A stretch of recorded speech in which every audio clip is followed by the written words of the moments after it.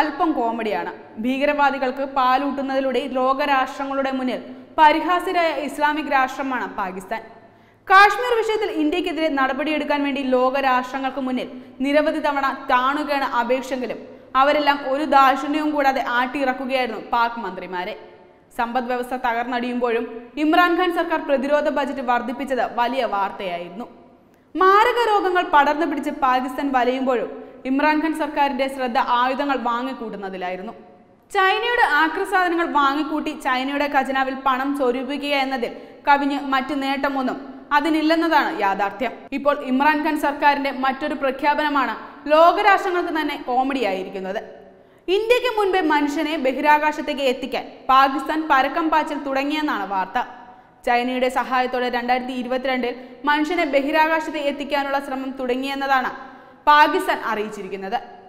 പാക് അവകാശവാദം ഇതിനകം തന്നെ ഏറെ ചർച്ചയായി കഴിഞ്ഞു. അതിനുള്ള ശ്രമങ്ങൾ അടുത്ത വർഷം ആരംഭിക്കുമെന്ന് പാകിസ്ഥാൻ ശാസ്ത്ര സാങ്കേതിക വിദ്യ വകുപ്പ് മന്ത്രി ഫവാദ് ചൗധരി പറഞ്ഞു. ആദ്യഘട്ടം എന്നോണം അൻപത് പേരടങ്ങുന്ന ഒരു ചെറു സംഘത്തെയാണ് ബഹിരാകാശ യാത്രയ്ക്കായി തിരഞ്ഞെടുക്കുക. അത് രണ്ടായിരത്തി ഇരുപത്തിരണ്ടോടെ ഇരുപത്തി അഞ്ചാക്കി ചുരുക്കും. ഈ ഇരുപത്തിയഞ്ച് പേരിൽ നിന്നാണ് രണ്ടായിരത്തി ഇരുപത്തിരണ്ടിൽ ബഹിരാകാശ ദൗത്യത്തിനുള്ള യാത്രികനെ തിരഞ്ഞെടുക്കുന്നതെന്നും മന്ത്രി പറഞ്ഞു. ബഹിരാകാശ യാത്രികനെ തിരഞ്ഞെടുക്കാനുള്ള പ്രക്രിയയിൽ പാകിസ്ഥാൻ എയർഫോഴ്സ് ആയിരിക്കും മുഖ്യ പങ്ക് വഹിക്കുകയെന്നും മന്ത്രി കൂട്ടിച്ചേർത്തു. പാകിസ്ഥാന്റെ ദേശീയ ബഹിരാകാശ ഏജൻസി സൂപ്പർകോ ആയിരത്തി തൊള്ളായിരത്തി അറുപത്തി ഒന്നിലാണ് സ്ഥാപിതമായത്. അതിനുശേഷം ചൈന എയറോസ്പേസ് ആൻഡ് ടെക്നോളജി കോർപ്പറേഷന്റെ അനുബന്ധ സ്ഥാപനത്തിന്റെ സഹായത്തോടെ അൻപത് വർഷത്തിനു ശേഷം മാത്രമാണ് ആദ്യത്തെ ആശയവിനിമയ ഉപഗ്രഹം വിക്ഷേപിച്ചത്. ഇതുവരെ ഒരു റോക്കറ്റ് പോലും സ്വന്തം നിലയിൽ വികസിപ്പിച്ച് വിക്ഷേപണം നടത്തിയിട്ടില്ലാത്ത പാകിസ്ഥാൻ രണ്ടായിരത്തി ഇരുപത്തിരണ്ടോടെ മനുഷ്യനെ ബഹിരാകാശത്ത് എത്തിക്കുമെന്ന പ്രഖ്യാപനം നടത്തിയത് ഇന്ത്യ ചന്ദ്രയാൻ രണ്ട് വിക്ഷേപിച്ചതിന് പിന്നാലെയാണ്.